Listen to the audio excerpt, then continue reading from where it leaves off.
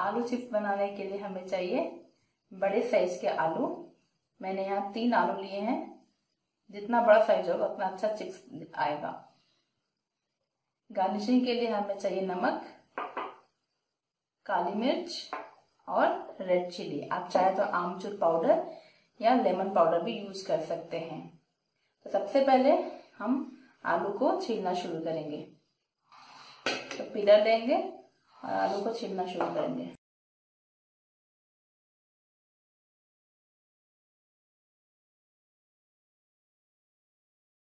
तो इस तरह से हमें आलू छील के तैयार करने हैं और आलू को छीलते ही हमें ठंडे पानी में डालना है ताकि ये काले ना पड़े। अगर आप आलू बिना पानी रखेंगे तो वो काले पड़ सकते तो इमिडिएटली उसको ठंडे पानी में डाल दें। इस तरह से हमने आलू छीला। इसी तरह और भी आलू छील लें। तो आप देख सकते हैं कि मैंने आलू छील के पानी में, ठंडे पानी में रखा है। अब मैं चिप्स की कटिंग करने जा रही हूँ।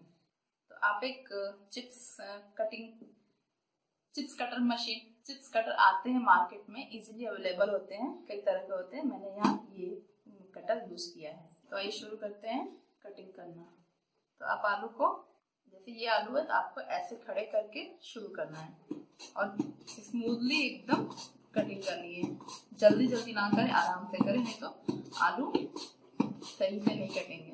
आराम से वन बाई वन स्टेप करते हुए कटिंग करते जाएँ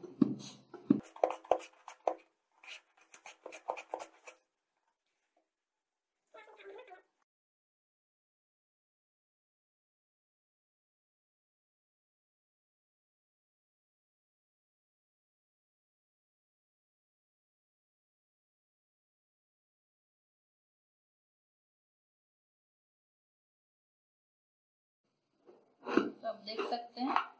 आलू के चिप्स इजीली कट के तैयार हो चुके हैं। अब इसे हम फिर से ठंडे पानी में डाल के एक बार वॉश करेंगे। तो अब इसे हम वॉश कर लेंगे अच्छे से और फिर से इसको दूसरे ठंडे पानी में डालेंगे ताकि अच्छे से वॉश हो जाए। इसको थोड़ी देर ठंडे पानी में छोड़ेंगे। फिर इसको पानी को निकाल के छानना है और इसके पानी को अच्छे तरह से सुखाना है। तो अब इसे धो के हम इसे एक ड्रेनर में डालेंगे ताकि पानी अच्छे से निकल जाए। इसे पानी बिल्कुल भी नहीं होना चाहिए।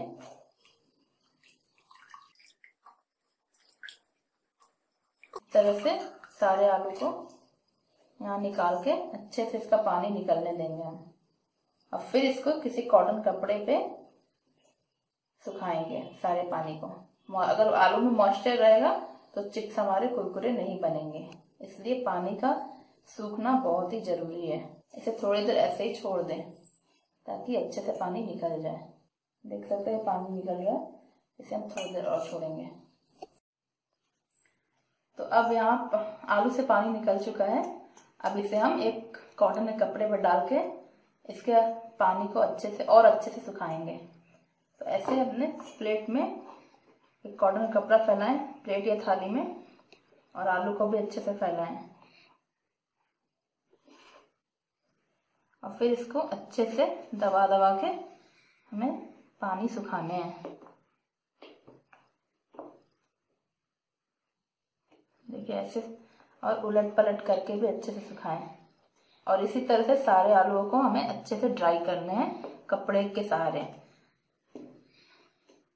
पानी बिल्कुल ना रहने दें, नहीं तो चिप्स, कुरकुरे नहीं बनेंगे।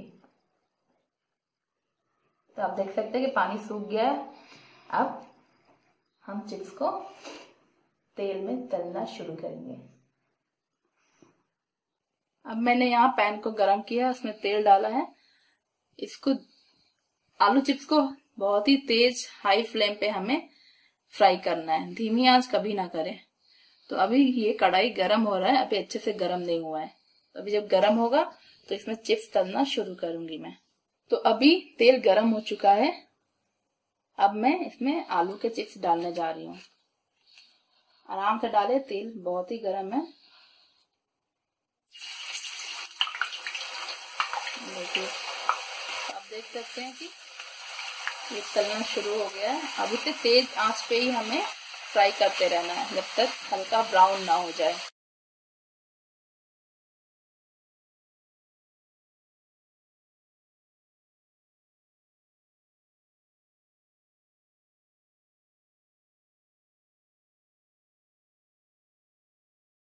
देखिए, अभी कलर चेंज होना शुरू हुआ है। अभी थोड़ी देर और लाल करेंगे इसको। ज़्यादा से ज़्यादा इसमें एक से तीन मिनट लगते हैं तलने में। अब ये तैयार हो चुका है तो अब मैं इसे निकालने जा रही हूँ। इसे टिश्यू पेपर पे निकाल लें, ताकि तेल ना रहे इसमें।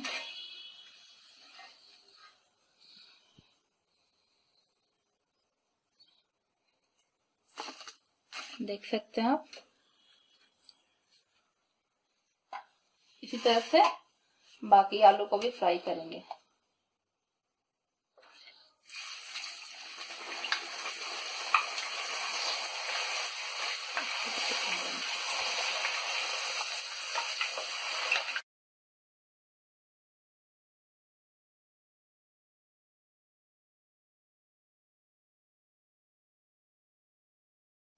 तो अब यहाँ पे आलू चिप्स तैयार हो चुका है। अब हम इसमें थोड़ा सा चिली पाउडर